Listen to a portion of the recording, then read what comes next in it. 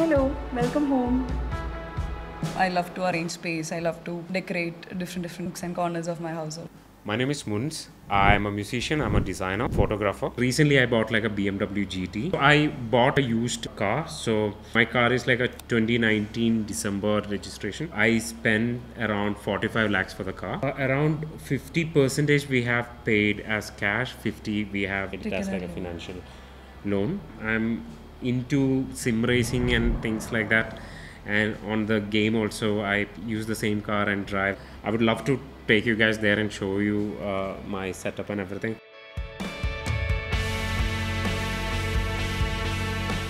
Altogether, it will be around yeah 8.5 9 lakhs kind of a thing. Yeah. I used to mention that just buy four tires also and just go out with it. Yeah, I love my sim setup more than my actual car or your car or both combined. So, yeah. Even when I was a kid, I was really into gaming and everything, but I couldn't actually afford a PC or a PlayStation or anything like that. Only after hitting 30s is when I'm able to buy the things I kind of love the car or the gaming setup and things like that. My first camera was gifted by a stranger. One random day, I'm getting a call from a total stranger, and he calls me and he's like, "Huh, you're Munz, and I've been seeing your photos and everything." And end of the call, he said, "Dude, you are really good. I'm actually sending you a camera." And after some days, camera actually come as a parcel. Right after a year, he gives the second call, and he was like, because of your clicks i'm inspired. Now the reason i called you because i bought another camera for you. Now i have bought uh, an upgrade for you. It's called canon 70 these kind of things never happens right? Like canon 70 cost more than a lakh and spending that much money back in 2007 2008 Yeah. it's unbelievable right? I used to think all the rich people are bad people. And that is the first time i realized you can use money this way also. Freedom if you are watching this bro thank you.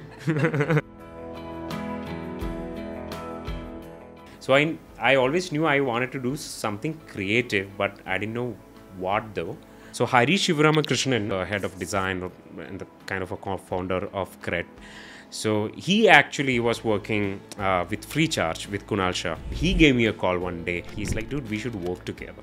FreeCharge probably the place where my design principles my uh, talent my skill everything was questioned and challenged. And that's where i honestly learned uh, design. When google funded dunzo that's when i joined. I used to make fun of people who stayed in one single company for more than a year now i'm with dunzo for like five and a half years dunzo has something called a view it's a, a thunder i remember shaping that corner and i see that same corner in someone else's t-shirt and uh, on their helmet and bike and they don't even know me that feeling uh, it's beautiful same kind of feeling I've got once or twice when I go to a bar and that bar is playing your music.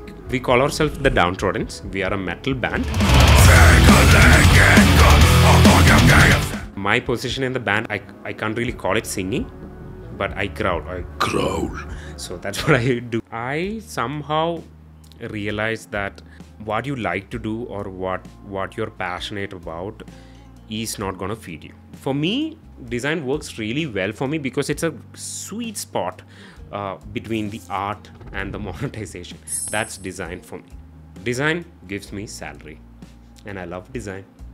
We earn about a crore uh, in span of year. We uh, spend almost like 30 percentage of the salary incoming. 30 goes in in for savings, and the rest of it is actually going for the investments. I think uh, 75 percentage of my investment is in equity. I have like some 20 percentage in like FDs and everything, and 10 percentage would be gold. She's more more of a modern investor. Uh, I'm I was started. actually into uh, the old school stuff like the post office and the FDs and everything. Now she started exploring all the new things. She's influencing me also. Most of our family always say that, oh, you guys are spending so much. Why you need like a BMW? You can buy this car also. The thing is that they don't know the kind of struggle we went through you know how you know th- there have been so many years in our life where we uh, didn't even eat properly. And we were like you know saving one rupees two rupees. And we struggled a lot and no one knows that story because we never showed right? We just started our 30s and till we uh, hit our 40s and the 50s we want to enjoy what you want to be. You want to be happy. And for reaching there whatever you want to do you have to do. Yeah, that's the financial goal that we are planning for. Not to worry about money at all.